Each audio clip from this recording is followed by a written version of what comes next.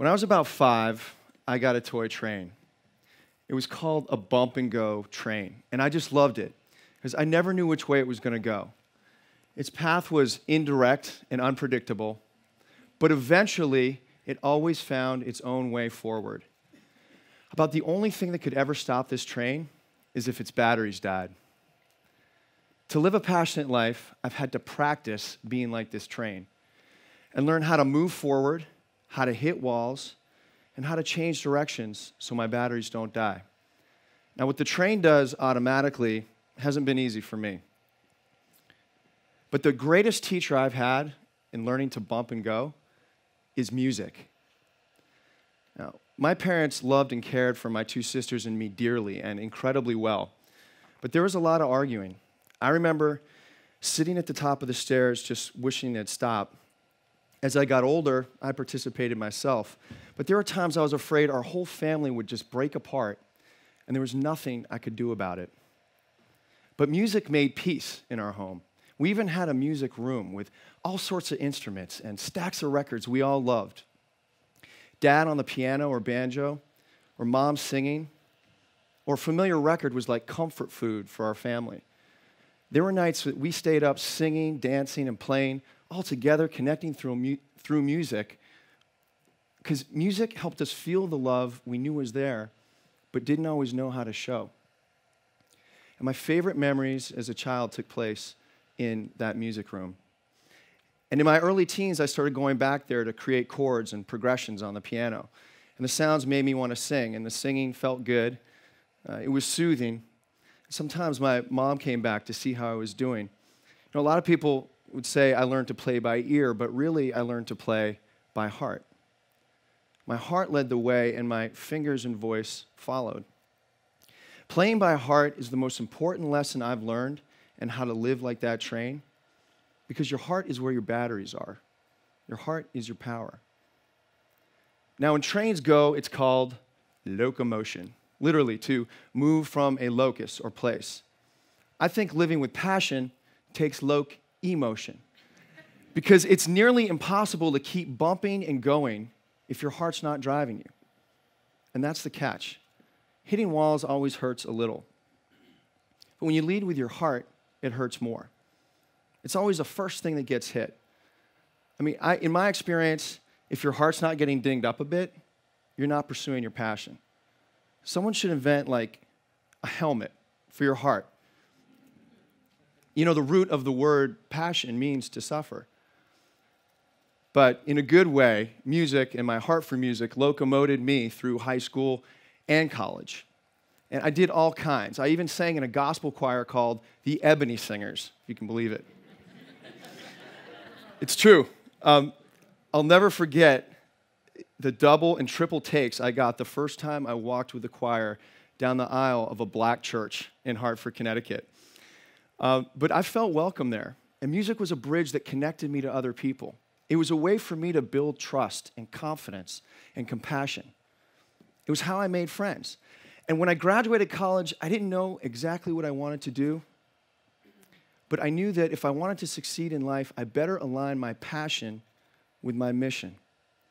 And while I loved music, I was more into, at the time, what music had opened my eyes to. And I wanted to find work that would help bring people together, help lift folks up, and help others find their loc emotion. So in 91, I joined the Clinton campaign and wound up in DC and then later worked with business leaders, all for about 10 years. I like to think we made some progress, but you know, really there was a lot of arguing about how to get things done and how to change the world. And after 9 11, I, like a lot of people, was afraid that the whole world might just break apart and there was nothing I could do about it. And that's when I remembered the music room.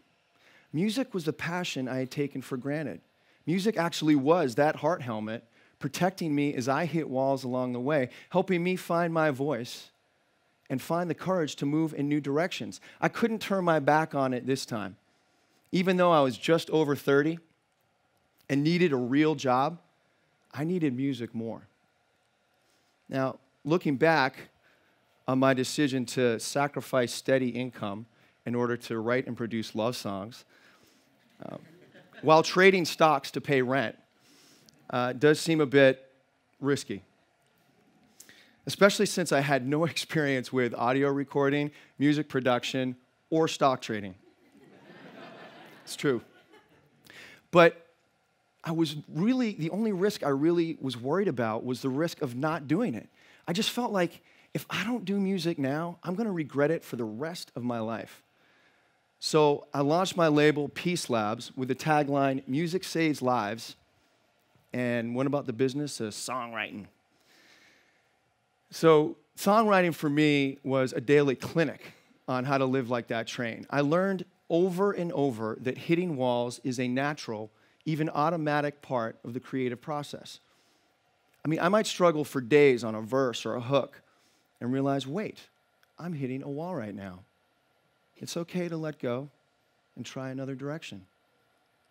I learned to trust that while I may not always know exactly where I'm going, while my path may feel painfully indirect and unpredictable, as long as my heart's in the right place and I keep at it, eventually I'll find my way. Now, I know today's topic, as you know, is the pursuit of passion. Music taught me that if you want to find your passion, you must find passion in your pursuit. Now, I also learned that pop music is a young man's game. And after five or six years, just the notion of creating an image or counting friends on MySpace was literally killing my batteries.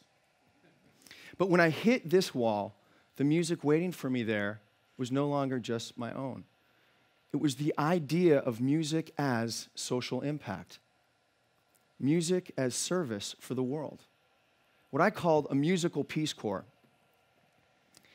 I just, you know, I had worked in the, in the White House um, on the AmeriCorps program, on the legislative team that created the AmeriCorps program.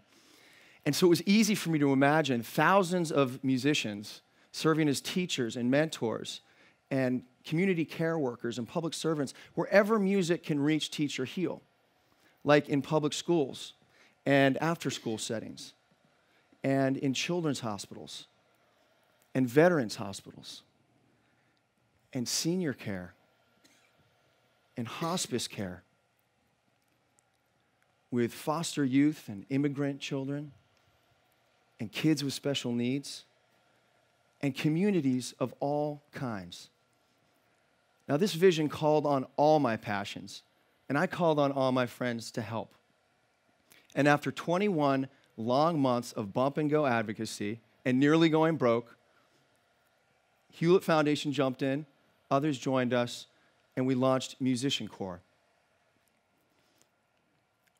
Right about there, MusicianCorps. I'm happy to report that after, you know, since then, MusicianCorps has impacted thousands of lives. Like Kevin, a student at June Jordan High School, who learned more than just guitar. He said, I've learned how to be patient, how to play with others, how to be a better person. Or Donald at the Gift of Love Hospice, who was so moved by our first visit that when we showed up the second time, he had bought a whole band's worth of equipment for us with a simple request that we just keep coming. Or the veteran at the VA's Community Living Center who said, I never thought something beautiful would happen to me here, but this drumming is creating something beautiful, and I've been so lonely. This has gone way beyond my personal passion. This is about Kevin and Donald and that veteran's passion, which is why it's hard for me to admit that MusicianCorps in hundreds of impactful music programs are running low on batteries right now.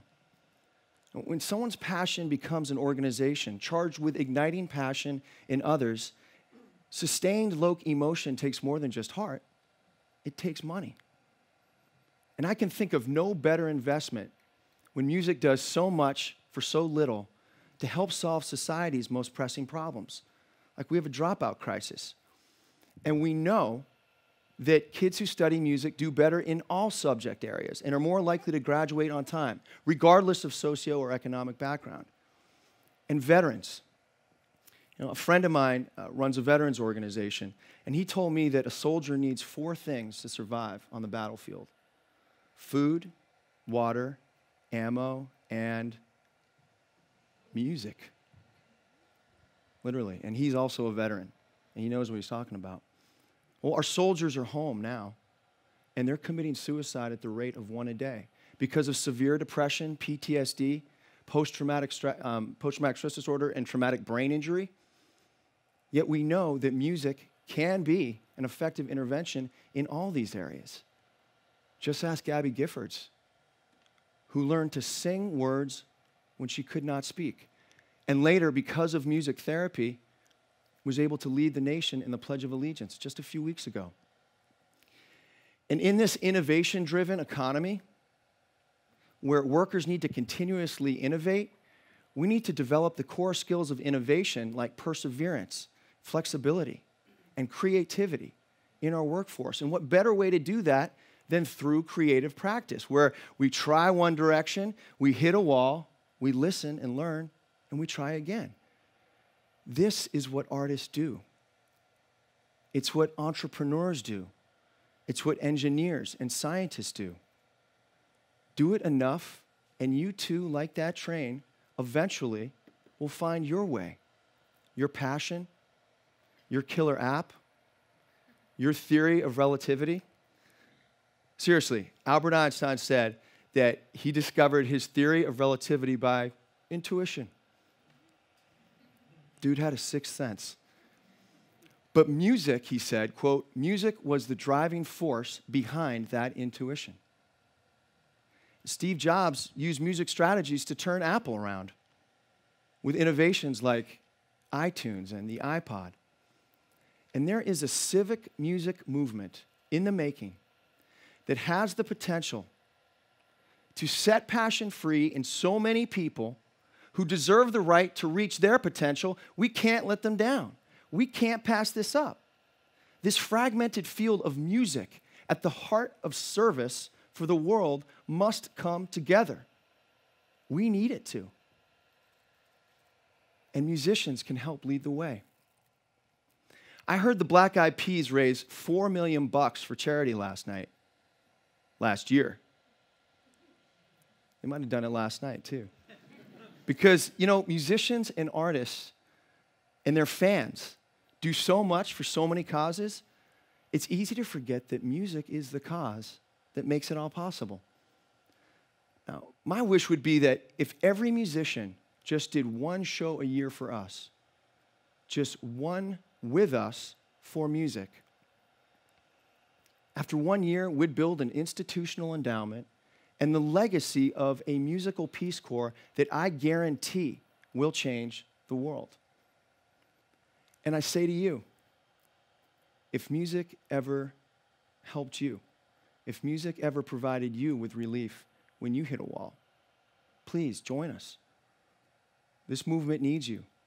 There's a seat at our table for you.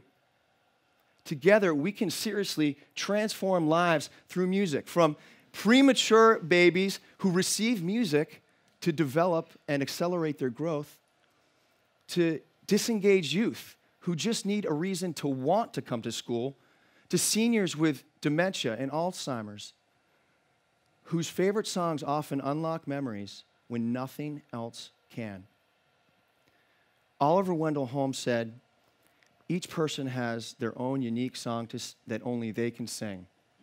Unfortunately, most people go to their graves with their songs unsung. But if we want to solve the great challenges facing us today, people need to find their songs and sing it whatever it is. We need some serious loc emotion up in this world right now. You know it. And music can help us do it together. If music can help Gabby Giffords and Steve Jobs and infants and athletes and Albert Einstein, we know it can help those who need it the most. I've seen it. Like Jesse, a middle school kid from a Chicago neighborhood they had been nearly torn apart by gang violence. In the middle of all that, he said of his after school band, I feel comforted.